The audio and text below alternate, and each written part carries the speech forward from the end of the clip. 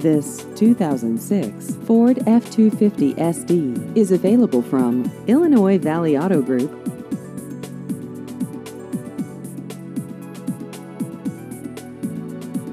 This vehicle has just over 164,000 miles.